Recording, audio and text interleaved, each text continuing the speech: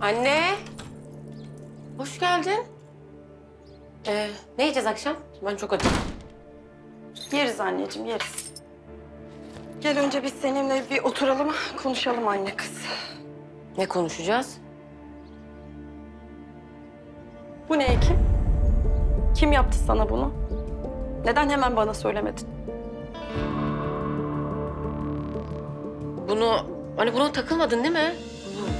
Önemli bir şey değil yani okuldakilerin saçma sapan şakası. Anneciğim korkma. Kızmayacağım sana. Hadi doğruyu anlat bana. O kız yaptırıyor sana bunları değil mi? Neydi adı? Neydi? Melisa mıydı? Neydi onun adı? Hayır anne saçmalama ne alakası var? Anneciğim. Sen bana telefonunu ver. Ver telefonunu arayacağım ben onu. Arayacağım. Ben o gün burada oturup onu nasıl dinlediysem o da beni dinleyecek. Anne olur mu öyle şey? Arayıp ne diyeceksin şimdi kıza sen? Ekim ver telefonunu. Numarası yok bende. Ne demek numarası yok? Ekim beni delirtme. Aramayayım diye yalan söylüyorsun. Telefonunu ver, rehberi açacağım, bulacağım numarasını. Nerede? Nerede telefonu? Ama Anne. İyi, ben kendim bulurum. Anne. Ya anne. Nerede? Ya ne yapıyorsun Çantam ya? Arama boşuna. Yok burada. Burada mı? Nerede?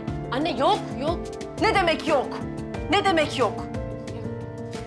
Unuttum ben onu. Unutmuşum yani. Şeyde Ayşe'de unuttum. Kızım sen benim gözlerimin içine baka baka bana yalan mı söylüyorsun? Sen benden ne saklıyorsun Ekim? Hiçbir şey. Ekim! Anne. Konuşacağız seninle.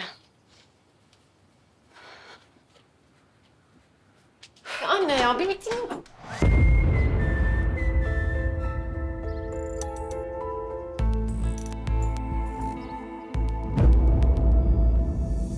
İyi günler Kanat ben. Ekim'in okuldan arkadaşıyım.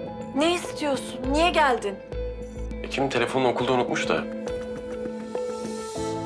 Ben, ben sandım ki akilerde unutmuşum.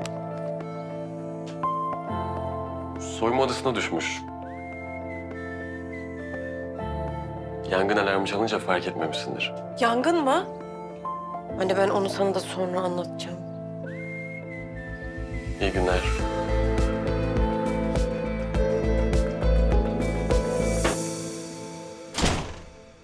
Şimdi bana doğruları anlatacaksın.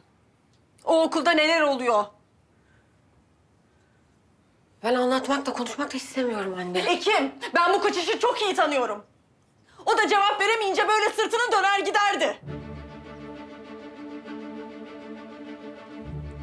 Ben babam değilim.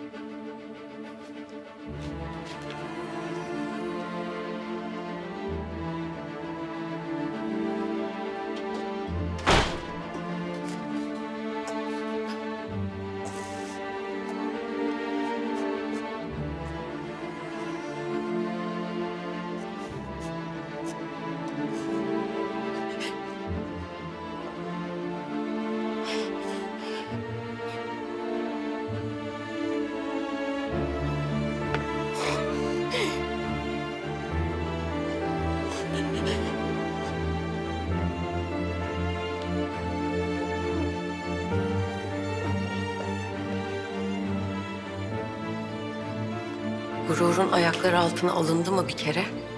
Hazmetmesi imkansız bir yumruk gibi oturur boğazına. Nefes aldırmaz. Gözünü kapatıp silmeye çalışırsın o anları. Başaramazsın. Öfke dolar için.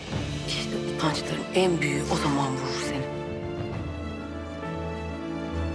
Halbuki bazen savaşı kazanabilmek için bazı kavgaları kaybetmelisindir aslında. Bunu öğrendim bugün. Yarın daha güçlü olmak için.